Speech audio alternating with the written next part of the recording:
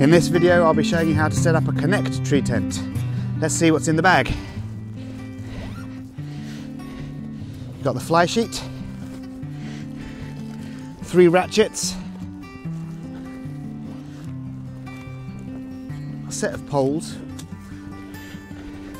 the tent itself, a user manual, and uh, three pegs. So the first thing to do is put your strap around the tree. You can take the loop end and walk it round your tree and come back, get your strap, set it at the height you want and then simply thread the tail through the loop and pull it and cinch it tight. So the first thing we need to do is lay out the connect so that all the corners are pointing to the trees that we're going to be anchoring to. So let's do that. Okay, that's about right. Now we'll attach the ratchets. Just like with all of our tents, you've got a ratchet loop. You put the loop through the D-ring and then the ratchet through the loop. You do that on all three sides, cinch it up tight, ready to go. Then we can take the ratchet strap, thread it through the spindle. Now the first time we do this, we're going to do it, we're to eye it because we don't know exactly where the equal central point is between these three trees. So the way I do it is I stand on the end of the oh, I stand on the end of this strap and give it a couple of pumps so I've got something to pull against.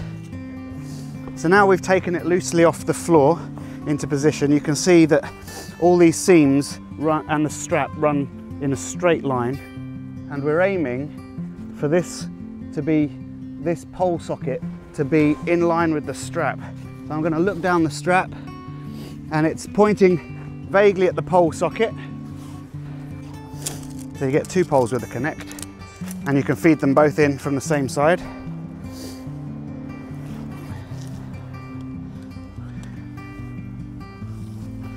Connect poles are pre-curved because they've got quite a, um, a bend on them. So one goes that way and the other one goes this way.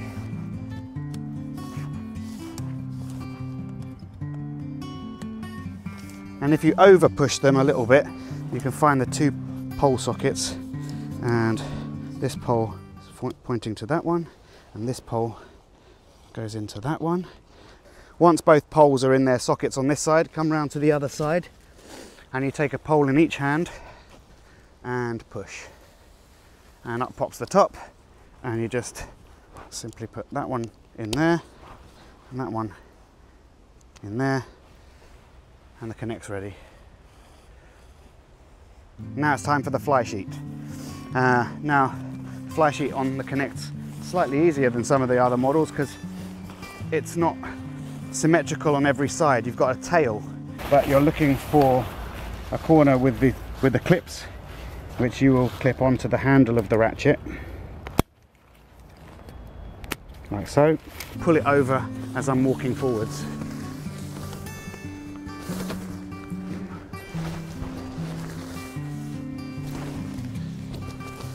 Then you get your three pegs and your three bungees.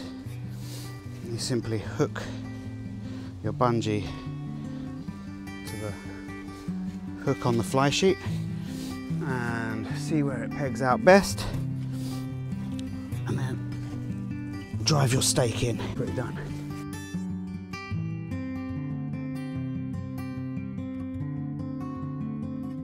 Pretty done.